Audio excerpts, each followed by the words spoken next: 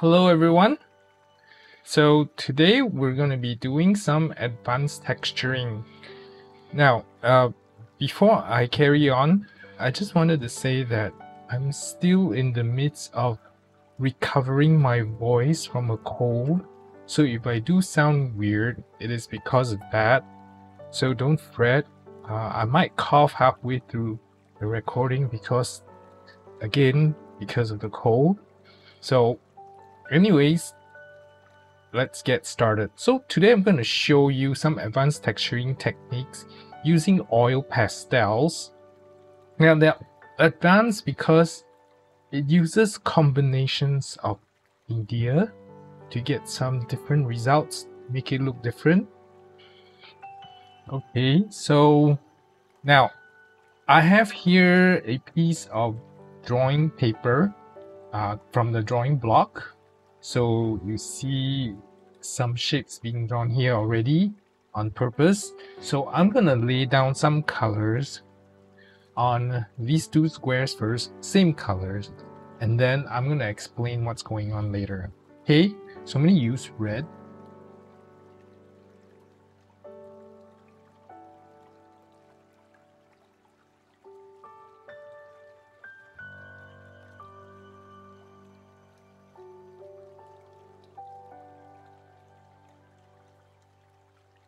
Now, uh, you want a very thick layer, especially two layers. So I'm going to lay down the color first. And then let it dry a, like a few minutes before putting down another layer because I need a pretty thick application with this technique to show up. Okay,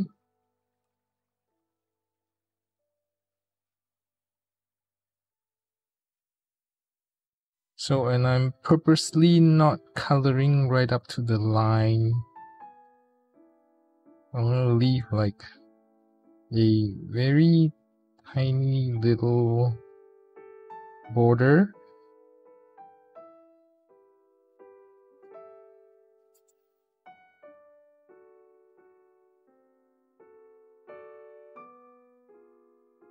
Now, as you know, because oil pastels are pretty thick so they can get pretty difficult to do fine details which is why I'm leaving a little border around it. Okay I don't know if I'm going to be able to use it. So okay I'm gonna let this dry for a bit before continuing one of the squares is going to be for comparison purposes and the other one is going to be where the effect is going to, okay? Where the effect is going to be. Yeah, I just lost my voice a little bit there. Okay, so now with this portion here, I am going to show you a technique called sgraffito. Huge area so you can see. Okay, so I think I've shown this technique in brief during my oil pastel review. So today I'm going to show you in a bigger sense in this piece of paper.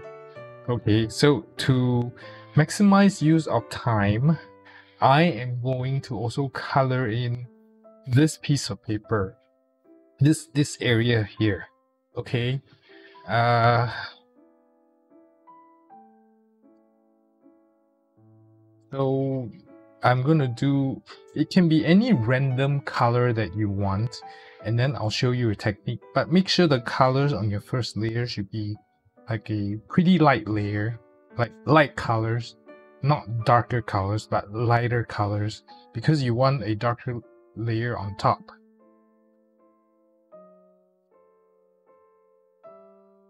So I'm gonna do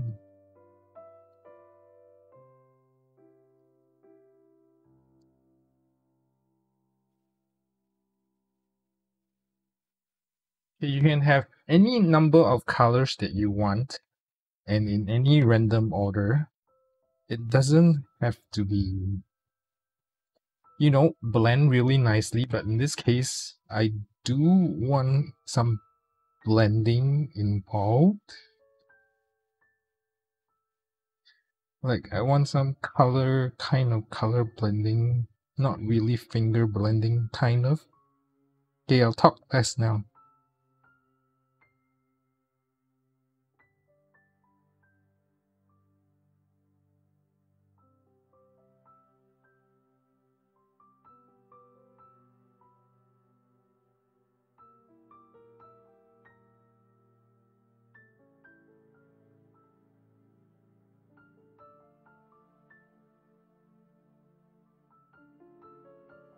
Alright, so you see this whole mess of colors. Okay, so we're not gonna mess with that right now. Again, we're gonna let it dry. Now, with this circle here, I'm gonna show you a technique that's adopted from Sgraffito. And I am going, you will see. Again, because I'm laying down the colors right now so that uh, I can let it dry. Alright?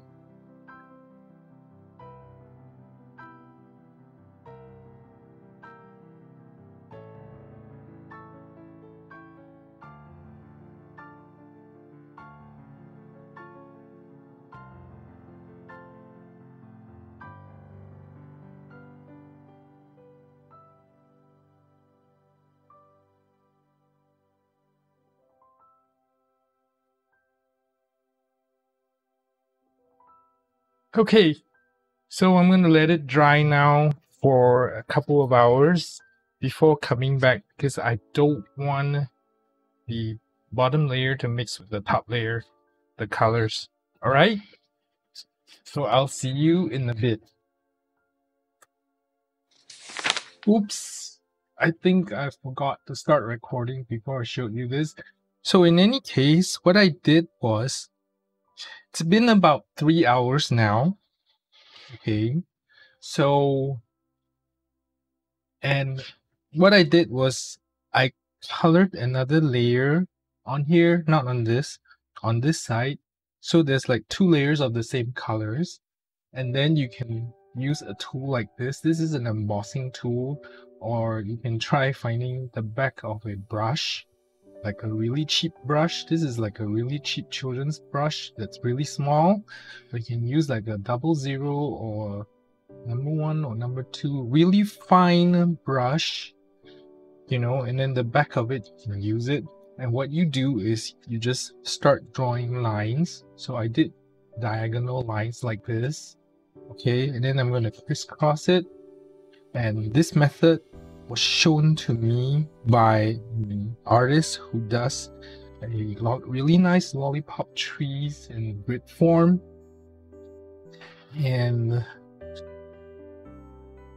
this is what she did. Okay, and then after that, you go over it with watercolor. Now, normally you don't go over oil pastels with watercolor because they don't stick. Okay, but for this reason, for this case, not this reason, this case we actually want to go over it with watercolor. Okay, so I'm gonna use my water brush now. And then I'm gonna get some brown color. Yep.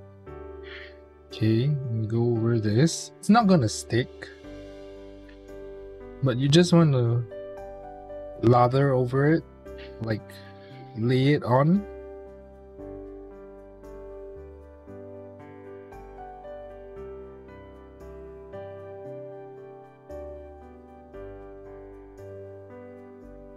So you just want to get it on everything. It doesn't matter if it doesn't stick. Okay. You want to get it on the whole thing.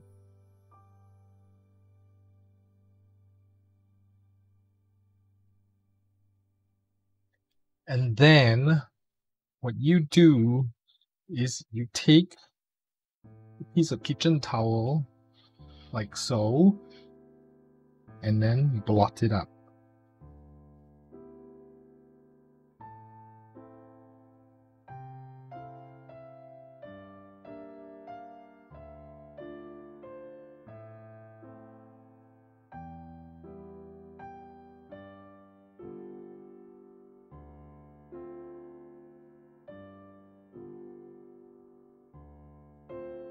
And because I use the brown color, you are going to see some of the pigment stuck to it like this and then you're going to see like all the ridges and everything.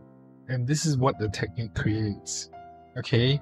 Now if you I'll, I'll show you one with a wider bridge here like if I don't put anything on probably won't be able to tell the difference. Okay you see this is a new ridge that I just made and the color is different. You can tell. Okay. So and then you can compare this. It's like this looks very very much more textured than this. All right now don't expect the watercolor to stick okay because it will not. It won't stick totally but some of it will stick. Okay, and that's what we want. And you can tell the difference already between a fresh one I made that doesn't have any watercolor on it and then the ones that have. You can already tell the difference. Alright? So this is this is the technique for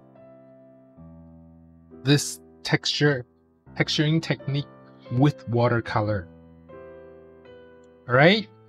So next, we come to Sgraffito technique. Now, this has been like drying for like about three hours, as I've mentioned before. That's why I did it before. So we are going to put a fresh layer of a really dark color over this entire area. Okay. So I'm going to use like a really dark blue. Hang on, let me turn on the light. There we go. Okay. This really dark blue. Oh, under this lighting, you can see this better. Okay. All right, so we start. And the reason why we want to uh, let it dry for about a few hours at the very least is because we don't want the color to mix as much. When it's fresh, the colors would mix because it is oil pastel and when it's a bit drier it doesn't mix as much.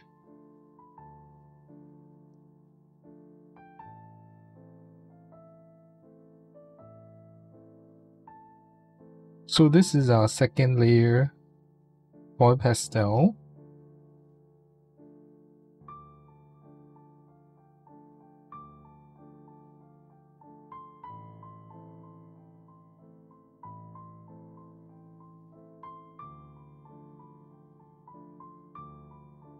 Some of it is still mixing because it's not completely dry. But for this demonstration purpose, it's fine.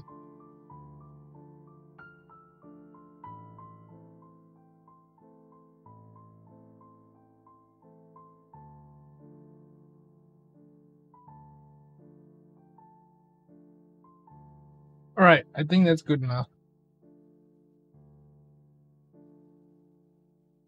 Just cover up all the white dots.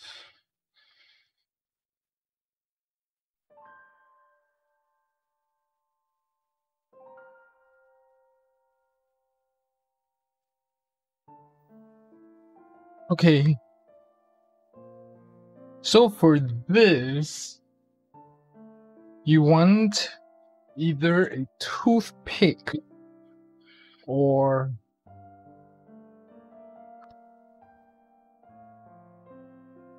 you want either a toothpick or a flathead screwdriver. Okay.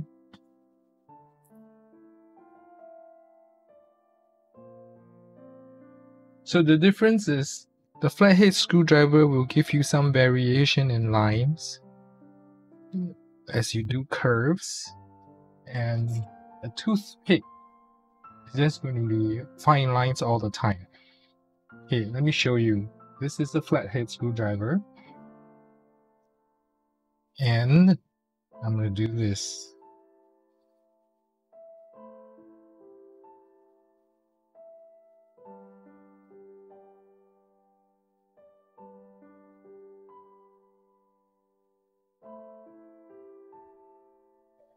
Just wipe the excess off.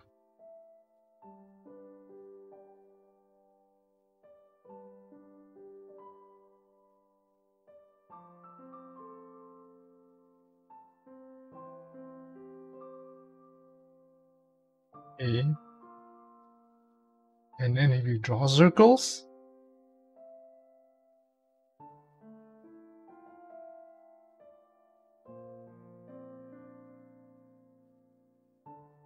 It's not a really nice circle, but you get the idea. Then you want to do roundings, and do it here as well. So this gives you ideas for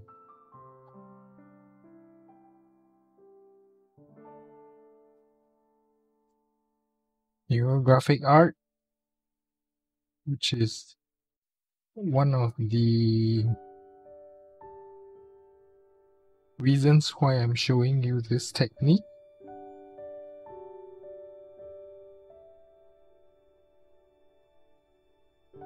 Okay, so I'm not going to do all the roundings, but you get the idea of what, what's possible with this technique. Now, with this technique, given that not everyone draws neurographic art and some of you are coming here, try and learn new techniques on doing coloring neural trees and such.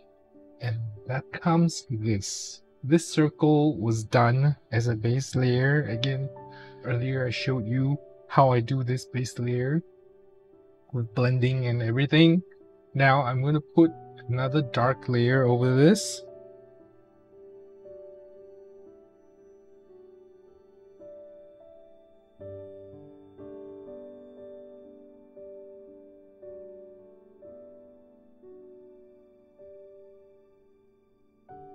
I'm gonna try and get a clean line.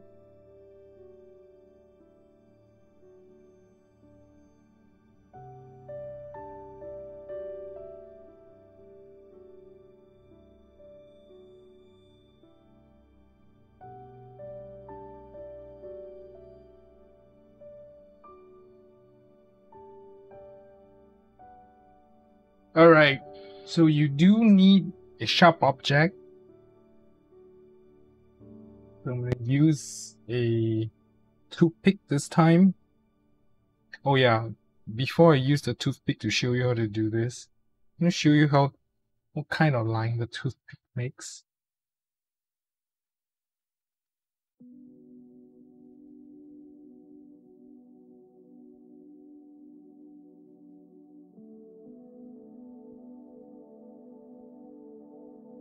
Alright, so it makes like consistent, really sharp lines.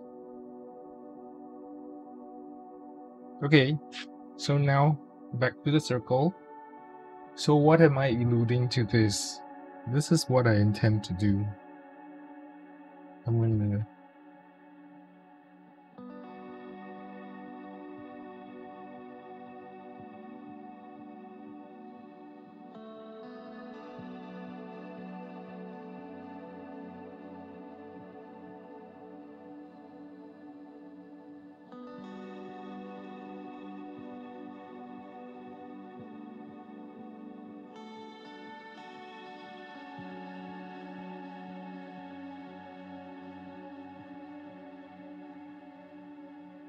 So this is what you can do with this sgraffito technique for textures. This this can be the fruit of your tree or your resource or in your trunk. Okay? That's why I teach you the sgraffito technique. The sgraffito technique, you can actually do it on an entire sheet of paper and you can draw neurographic art with just this. And then on top of that, you can also make a resource, a fruit, or whatever with this technique like that. You just need to remember that bottom layer, the color in the bottom layer needs to be lighter than the color on the top layer. So the top layer always has to be a darker color. It takes a bit of planning and you need to know some of the principles of blending to be able to get some really nice gradients at the bottom. Okay, I've sh already shown you the techniques of how to do blending to get that and that's why I use the yellow, white, blue and purple because I know that that gives a really nice blending okay you can do your you know creativity and then after that you just need to clean up by picking up all these little bits you know okay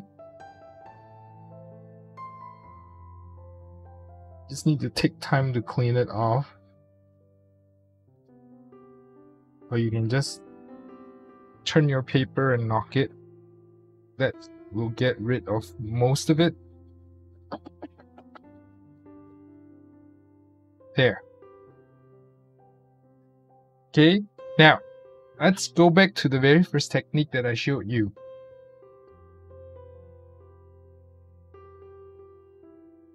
Okay, now you can see the difference. See the color has dried and it's taken on a different hue than this one. It looks a little dirtier and it looks like it has texture on it. And it actually does have some 3D texture on it. Okay, so now you can get creative with this idea and do something with it. I mean, you can even combine this with this. I've not done it.